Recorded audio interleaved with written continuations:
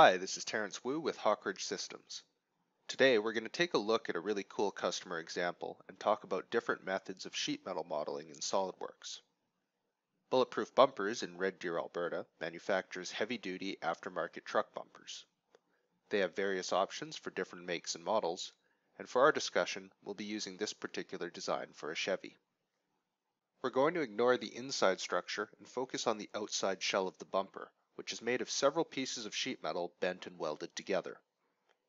In order to manufacture the shell, the flat pattern of each piece is needed. Now, I'm sure most of you watching this already know that SOLIDWORKS can calculate sheet metal flat patterns, so all we need to do is create a model of the bumper like this one, and we're home free.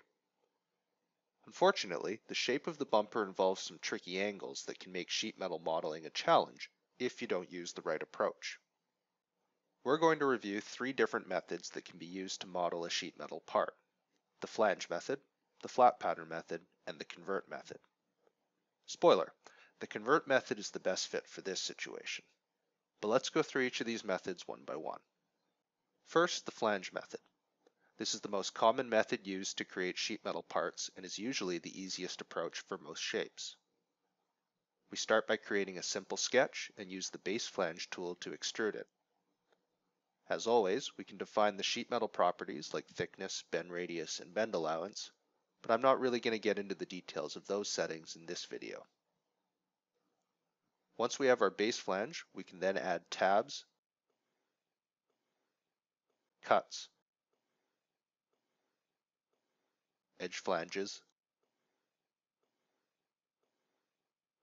and other features to complete the geometry.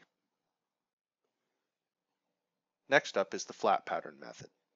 Usually we have a 3D shape we want to achieve and we use our sheet metal model to help us figure out the flat pattern needed. When using the flat pattern method, we start with the flat pattern and then bend it into the 3D shape, so we're basically working backwards. Since doing all the hard work yourself is no fun, this approach isn't usually recommended. However, it does come in handy when you have legacy data you want to work with.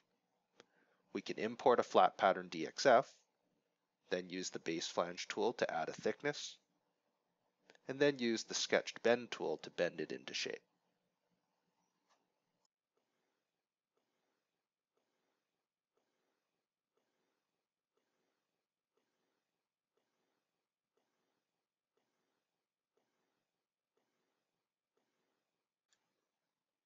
While both the flange method and flat pattern method worked reasonably well for this first piece, we would have a pretty tough time modeling the other pieces with the right angles to fit together properly without doing a bunch of math beforehand. This is where the convert method can help. The convert method uses the faces of an existing body to define the sheet metal shape. Because of all the tricky angles, it's definitely easier to model a solid body like this rather than model the sheet metal pieces directly. Using the Convert to Sheet Metal feature, we select a fixed face and then any bend edges.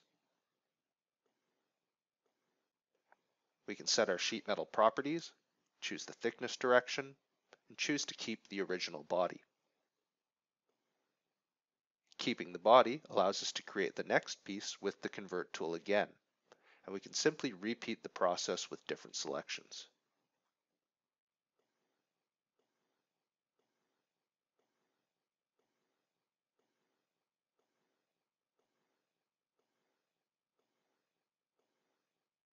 For the final convert feature, we can turn off the keep body option. You can definitely see why the convert method is a good strategy for modeling sheet metal that needs to fit together.